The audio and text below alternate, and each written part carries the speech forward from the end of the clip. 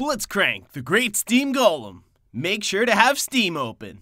Blitzcrank's passive is Mana Barrier. It gives him a shield equal to half his current mana. Contrary to popular belief, building only mana items isn't as good as you think.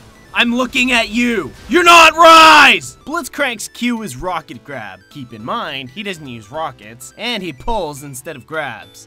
Extremely accurate. Some people believe his hitbox is shorter than it actually is. Now, as you can clearly see here, I'm too far to hook. Or this genius can. At the very edge of the Q, just beyond the arrow in the cast indicator, I will be able to hit the hook. Come on, what the fuck? Blitzcrank's W is overdrive.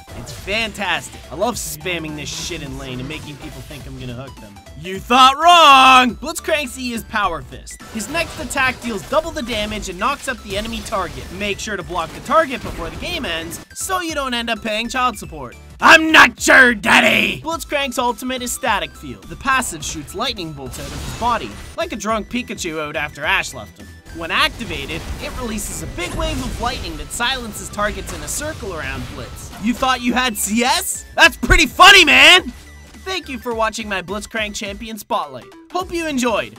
Make sure to like, comment, and subscribe.